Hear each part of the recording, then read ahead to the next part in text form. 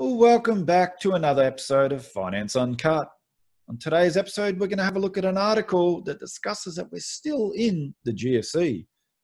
And as a reminder, next week I'm going to release a two part video called My Investment Thesis. In this video, I'm going to go into detail about my macro outlook and how I'm building up my portfolio for that outlook. So stay tuned next week, Monday and Wednesday, two part video.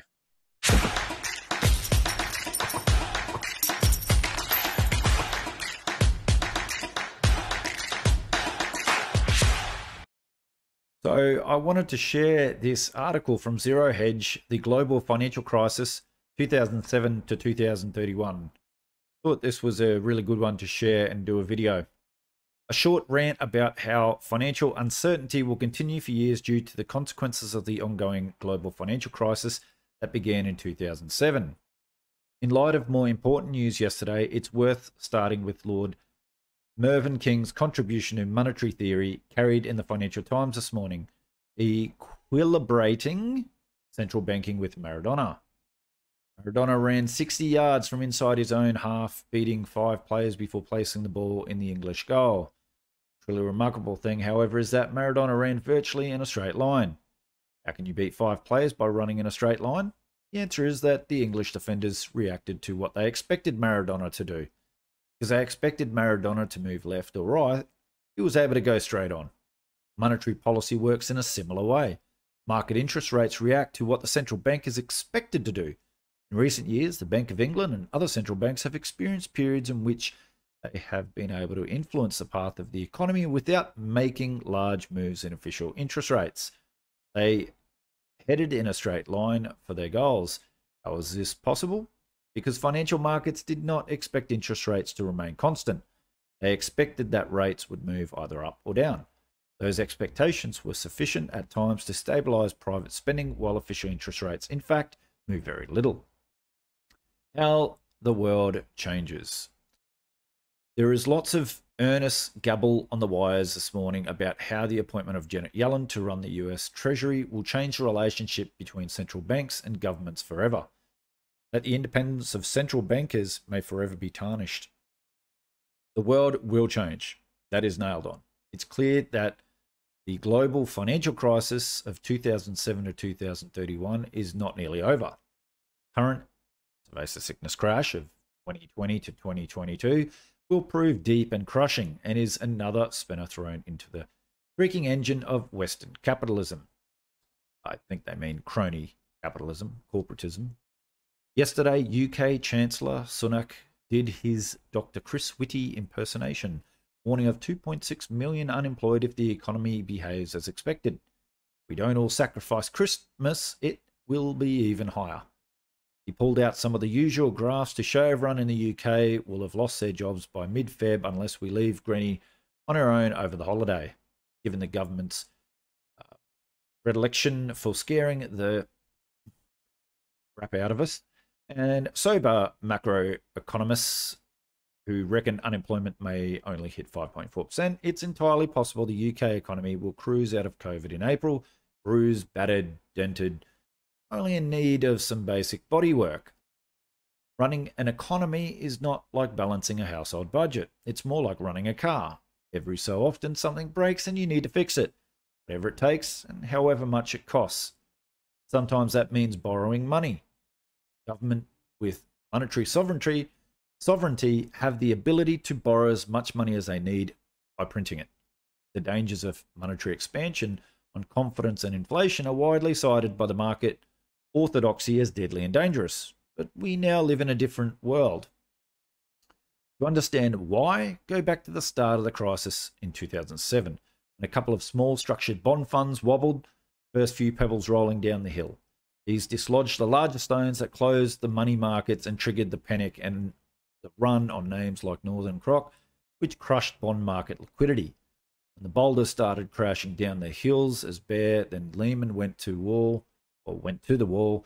AIG effectively failed. The Western banking system stood on the brink of Armageddon. Ah, happy times. And a crack force of bankers, politicians, and accountants reinvented finance in the same old way intervention. They applied sticky backed plastic, sealing wax, and string to stabilize the mechanisms of finance. Stock markets collapsing, bailed out banks, restored liquidity, dropped interest rates, and did all kinds of clever things like quantitative easing, keep the creaking global economy turning. But there have been massive consequences, and these will likely be the theme of the second half of the GFC, which will impact us all in coming years. How do you unwind the distortions of the last 12 years? These include the pernicious effects of ultra low rates, massive stagflation in financial assets, uh, massively higher prices and minimal yields, lower yield for more risk, and the very real long term disincentives of zero interest rates on growth, investment, and business innovation and evolution. 2008 central banks saved capitalism by completely undermining it. Challenges to restore it. We also see behavioral effects that stem from the consequences of dealing with the crisis. When bonds return nothing, risks are so high.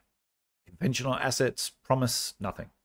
People start to believe in fantabulous, perpetual motion machines that will deliver unreal returns.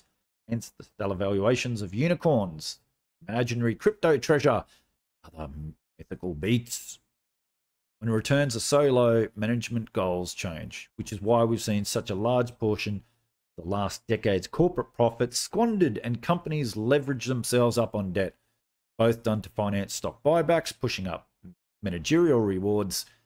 It has made good companies go bad. Look at Boeing as a prime example of a firm that effectively destroyed itself from the top. And then there is the fact that inflated financial assets put most of the central bank created wealth into the hands of a tiny number of asset owners.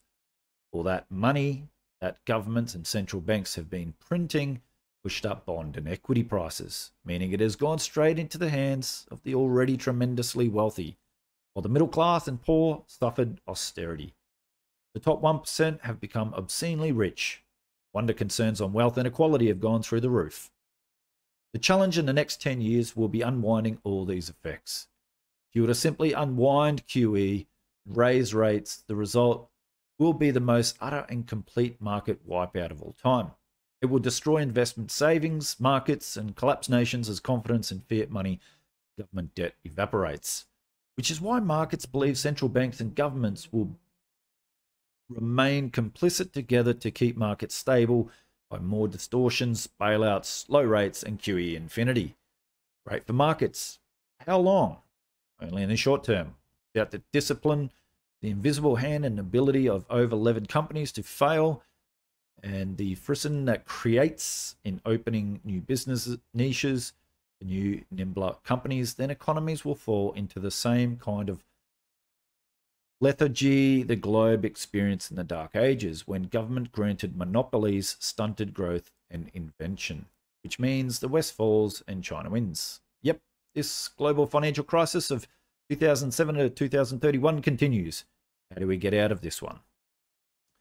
And uh, I just wanted to uh, add to this. I watched a video yesterday of uh, Raoul Pal, uh, macro investor, and uh, and he was saying that uh, the trouble that we're in, especially with uh, the baby boomer generation retiring, the liabilities that governments have for pensions and whatnot, uh, unfunded liabilities, mind you, uh, how this is all going to play out and how this uh, transfer between uh, those with the wealth, those without the wealth, uh, to, to close this wealth inequality gap, how this is all going to play out. Um, and he was saying he thinks that uh, asset prices where they are right now uh, will have in value in the years ahead. Um, and uh, and that's going to create its own problems. It, it, will help younger people because then they can buy assets a lot cheaper uh, but it, it's going to uh, put a lot of strain on those retirees.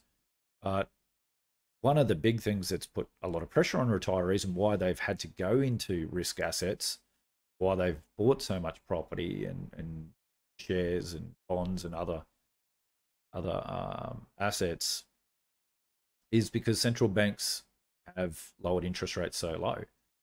Uh, once upon a time, what was it? Uh, what was it? Uh, just just over ten years, just before the global financial crisis, um, know, someone uh, that wanted to earn fifty thousand dollars a year in interest uh, only needed just over eight hundred thousand dollars, where today they need more like eight million dollars.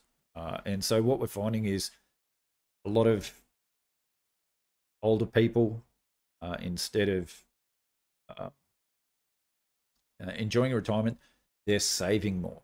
So they're not spending more because they're getting less return on their savings and they're being forced to go into riskier assets.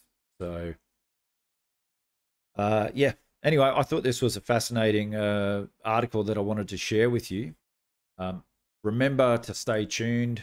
Uh, I'm going to record my investment thesis. So, I'm going to discuss where I see uh, you know, the macro uh, economics playing out in the near future um, and how I'm positioning my portfolio, uh, the sectors that I'm invested in, why I'm invested in them. And uh, so you get a much clearer picture of why I'm uh, investing the way I am.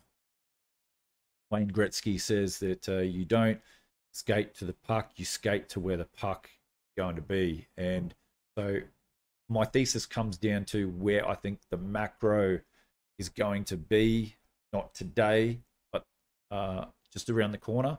And so I plan to build my portfolio around where I think that thesis is going to play out. And um, and so I'm going to do this in probably a two-part video. So I'll start recording it tomorrow. I'll probably release the first part one video um, on. Um, so when I mean tomorrow, I mean uh, Friday, which is probably when you're seeing this video. Um, and I'll release part one on Monday next week, probably part two on Tuesday or Wednesday of next week. So stay tuned to that because uh, you, are going to get uh, detailed. So a lot of a lot of people uh, have asked me, uh, have reached out to me with these videos. Is Steve? It's great that you're giving a lot of uh, economic stuff, a lot of market update stuff, um, reading some really good articles. Uh, but can you give us more practical things that we can maybe go away and implement, or maybe we can think about things for for ourselves and, and go into a little bit more detail. So I'm actually going to, um, as I said, share with you, uh, go into a lot more detail, share with you my macro thoughts, and obviously you'll see because of my macro thoughts how I've built my portfolio and how I can am continuing to build uh, that portfolio moving out. So, uh, so stay tuned to that one. That'll come out next week, two part video. Uh, anyway, thanks everyone for joining me on this episode of Finance Uncut, and I'll see you next time.